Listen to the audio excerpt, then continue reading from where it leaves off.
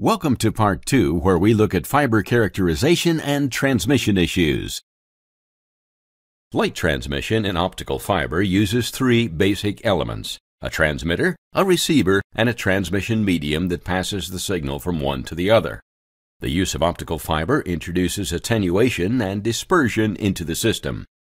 Attenuation tends to increase the power requirements of the transmitter in order to meet the power requirements of the receiver. Dispersion, on the other hand, limits the bandwidth of the data that can be transmitted over the fiber.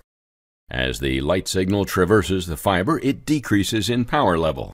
The decrease in power level is expressed in decibels, dB, or as a rate of loss per unit distance, decibels per kilometer. The two main loss mechanisms of light transmission in optical fiber are light absorption and scattering. With light absorption, light is absorbed in the fiber material as its energy is converted to heat due to molecular resonance and wavelength impurities. For example, hydrogen and hydroxide resonance occurs at approximately 1244 and 1383 nanometers. Scattering, primarily Rayleigh scattering, also contributes to attenuation. It causes dispersion of the light energy in all directions, with some of the light escaping the fiber core, but a small portion of this light energy is returned down the core and is termed backscattering.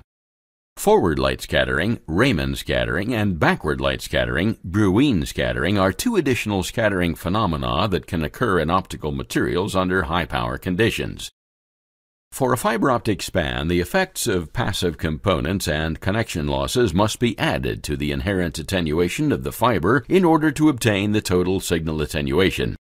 This attenuation or loss for a given wavelength is defined as the ratio between the input power and the output power of the fiber being measured. It is generally expressed in decibels dB. Microbends and macrobends are common problems in installed cable systems because they can induce signal power loss. Microbending occurs when the fiber core deviates from the axis and can be caused by manufacturing defects, mechanical constraints during the fiber laying process, and environmental variations, temperature, humidity, or pressure during the fiber's lifetime. Several factors can contribute to microbending induced loss, including glass non-uniformity at the core cladding boundary and polymer coating irregularities, as well as packaging, installation, and environmental effects. A macrobend is a bend or loop in the fiber with a radius of curvature of several millimeters or more, and this effect is to cause power to be lost from the core and thereby induce additional loss.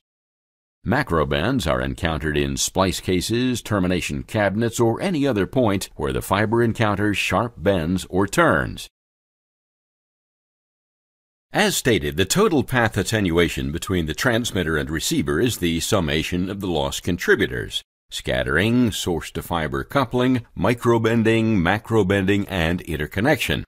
The effect of source to fiber coupling occurs only once at the front end of a system, whereas the total scattering in microbending terms, decibels per kilometer, continuously erode this coupled power as a function of length.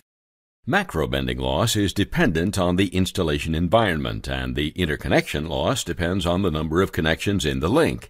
When these loss contributors are summed, the total link loss is a function of length and the number of connections. Hence, different fiber designs will optimize attenuation for different network configurations. The challenge is to choose a fiber with good performance over a wide range of system characteristics which satisfies both the present objectives and future upgradability requirements. Of the four attenuation factors, the susceptibility to bending induced losses provides the most distinction between fiber designs for single mode systems. Differences in scattering losses among designs are small, on the order of tenths of a decibel per kilometer, Similarly, with the present much improved connector and splice technology, which is capable of consistently producing interconnection losses of 0.3 dB or less, the practical difference in connector and splice losses among the fiber designs are small. Another factor that affects the signal during transmission is dispersion, which reduces the effective bandwidth available for transmission. Three main types of dispersion exist modal dispersion, MD, chromatic dispersion, CD, and polarization mode dispersion, PMD. The bandwidth of the fiber determines the maximum rate at which information can be transmitted through the network and can be divided into two main components, modal and chromatic, both of which contribute to the total bandwidth. Crosstalk does not occur in the fiber itself as the bandwidth of fibers is mainly limited by their dispersion. Depending whether it is single or multimode, the system performance is determined to different degree by the combined effects of modal and chromatic dispersion. For single mode systems, other factors such as polarization modal dispersion and nonlinear effects must be considered, but these are more apparent for long distance transmission systems. Modal dispersion typically occurs with multimode fiber, where a very short light pulse is injected into the fiber within the numerical aperture, all of the energy does not reach the end of the fiber simultaneously. A mode can be considered as the path that a light ray follows when traveling through the fiber, and each carries a quantity of optical energy. Different modes of oscillation carry the energy using paths of different lengths. So, for example, a multimode fiber with a 50 micron core may have up to 300 modes. This pulse spreading by virtue of different light path lengths is called modal dispersion, or more simply, multimode dispersion. Eventually, two pulses will merge together and cannot then be distinguished from each other. A single mode fiber does not have modal dispersion since only one mode will be propagated through the fiber. Chromatic dispersion, CD, occurs because a light pulse is made up of different wavelengths, each traveling at different speeds down the fiber. These different propagation speeds broaden the light pulse when it arrives at the receiver, reducing the signal to noise ratio SNR and increasing bit errors. Chromatic dispersion is caused by material dispersion and waveguide dispersion.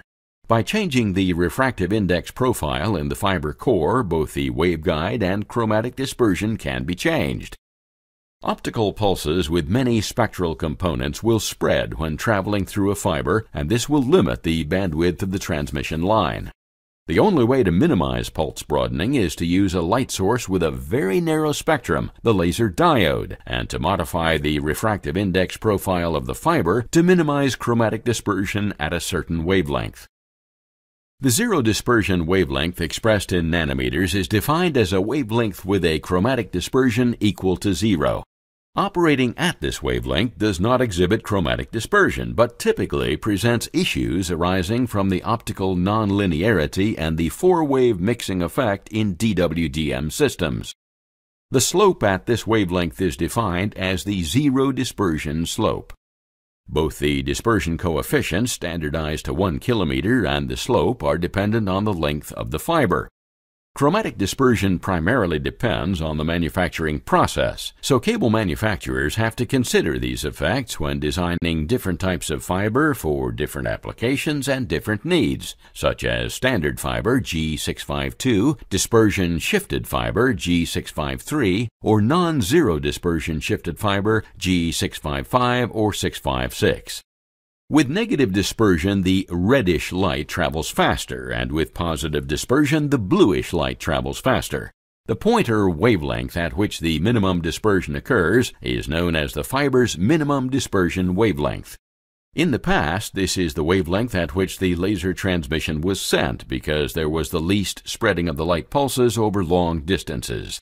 As we will see, in some cases it is to our advantage to transmit at other than the fiber's zero dispersion wavelength.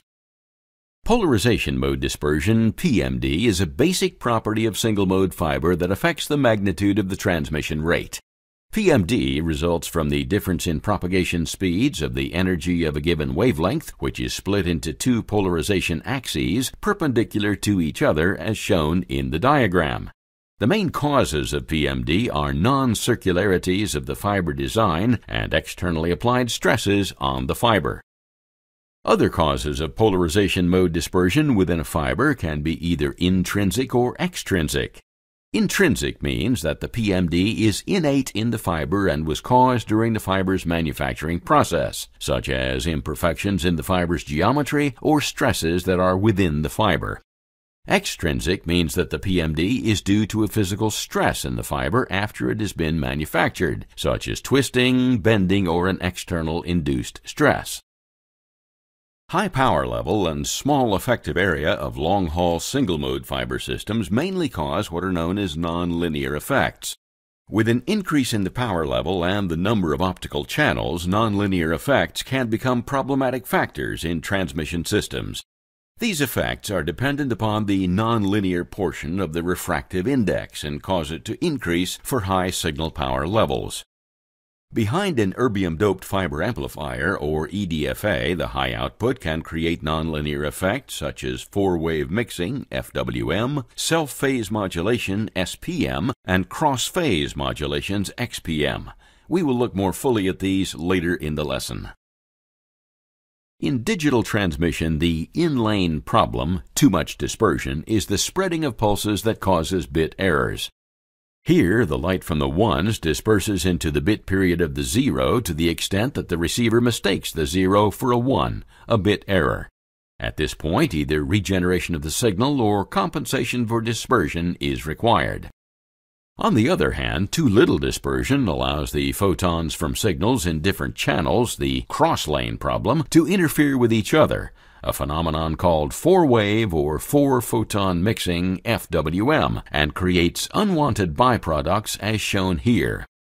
These byproducts cause two problems. One, they rob power from the main signals, a minor problem, and two, they can be situated at a signal wavelength and cause interference or crosstalk. Here you can see unevenly spaced signal wavelengths to illustrate the FWM mixing, but real systems have evenly spaced wavelengths where the unwanted byproducts would interfere directly. Four-wave mixing, or FWM, is an interference phenomenon that produces unwanted signals from three signal frequencies known as ghost channels that occur when three different channels induce a fourth channel. There are several ways this can happen, so let's look at two of the most common. Due to high power levels and depending on the number of actual signal channels, FWM effects produce ghost channels, some of which overlap the actual signal channels. For example, a 4-channel system will produce 24, and a 16-channel system will produce 1920 unwanted ghost channels. Therefore, FWM is one of the most adverse nonlinear effects in DWDM systems. In systems using dispersion shifted fiber, FWM becomes a tremendous problem when transmitting around 1550 nanometers or the zero dispersion wavelength. Different wavelengths traveling at the same speed or group velocity and at a constant phase over a long period of time will increase the effects of FWM. In standard fiber, non-dispersion shifted fiber, a certain amount of chromatic dispersion occurs around 1550 nanometers, leading to different wavelengths having different group velocities, reducing the FWM effects. Using irregular channel spacing can also achieve a reduction in these effects too. Self-phase modulation, or SPM, is the effect that a signal has on its own phase, resulting in signal spreading. With high signal intensities, the light itself induces local variable changes in the refractive index of the fiber, known as the Kerr effect. This phenomenon produces a time-varying phase in the same channel. The time-varying refractive index modulates the phase of the transmitted wavelengths, broadening the wavelength spectrum of the transmitted optical pulse. The result is a shift toward shorter wavelengths at the trailing edge of the signal, blue shift, as well as a shift toward longer wavelengths at the leading edge of the signal, red shift. The wavelength shifts that SPM causes are the exact opposite of positive chromatic dispersion.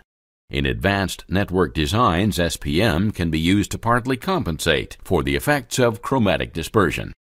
Cross-phase modulation XPM is the effect that a signal in one channel has on the phase of another signal. Similar to self-phase modulation, XPM occurs as a result of the Kerr effect.